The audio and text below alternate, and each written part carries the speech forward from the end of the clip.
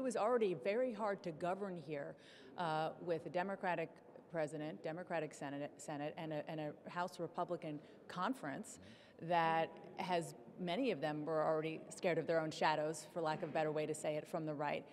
It's hard to imagine it worse, but it will be. I think it'll be worse in the sense that uh, that was one of the specific things used against Eric was not only was he establishment, but that he had been part of some of these compromises, like what kept the government open.